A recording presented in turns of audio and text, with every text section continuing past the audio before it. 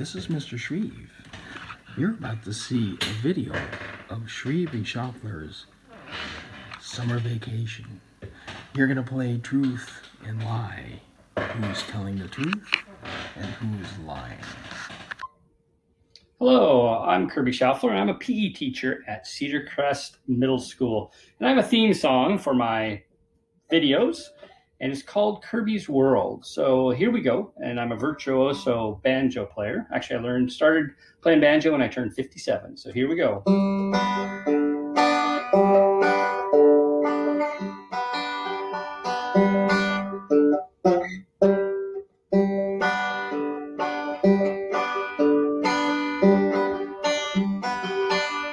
Kirby's World.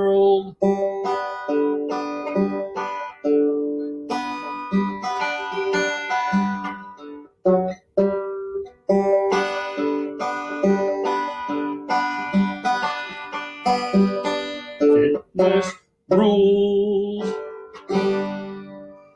Well, there we go. And uh, you're probably wondering what I did this summer, and you want to get to know me. So here's the deal. Um, I'm reporting to you from my secret lair here, and Mr. Shreeve and I did a lot of interesting things this summer. So I'm going to play a little game with you of truth or lie. Now I'm going to tell you seven things about me. Wait, six things about me that I did this summer, and you need to think about it and figure out whether they're truth or whether they're a lie. So the first thing is, I went to Costco and several other grocery stores. That's number one. Second thing is, I kayaked. Wait, props.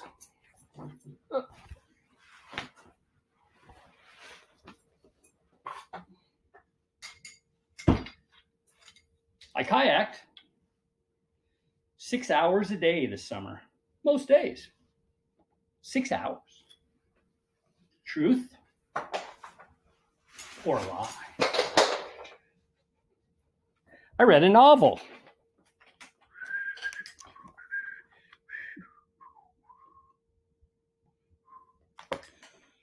Another thing I did this summer, truth or lie, I read a Dr. Seuss book. The Lorax. At the far end of town where the grickle grass grows and the wind smells slow and sour when it blows, and no birds ever sing except in old crows, is the street of the lifted Lorax. I ran across Washington, 277 miles from the, the Canada border all the way down to Portland. 277 miles. I'm giving you a few hints here. And last but not least, I got a haircut. Truth or a lie? Hello, this is Mr. Shreeve coming to you from a secret location. I'm going to talk to you about a game that we're going to play, and it's a way to introduce myself and Mr. Schaufler to you. Basically, we're going to tell you what we did during the summer, and you're going to have to try and figure out what was true and what wasn't. So let's start. First of all, Mr. Schaufler and I both went shopping at Costco. Yeah, it was kind of busy, but we went there. Had to even wear a mask. So the next thing is, Mr. Schaufler rode a kayak around the lake. Well, I don't have a kayak, but I got to ride a jet pack-like device when I went traveling.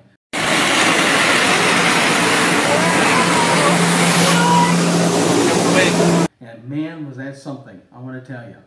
It was crazy. Then we read, believe it or not, because I guess teachers read once in a while. Mr. Schaufler read a novel, and I read something too. Look at that, Bill Nye. Yes, I read that. And then, of course, there was running. Mr. Schaufler did running. Well, I didn't do running like he did, but I ran with the bulls.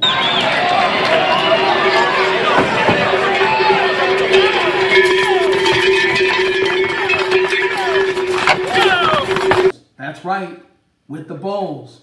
The bulls, I say. And then Of course, Mr. Shopper, he said that he got a haircut. Here's a secret. I got a haircut too. Now, finally, Mr. Schaufler plays something for you on the banjo because he's been playing the banjo. The banjo's cool. I don't know how to play a banjo. I started just this summer to learn how to play the guitar. So I'm going to play something for you right now, and it's by the Beatles. And you see if you recognize it. It's a very iconic riff.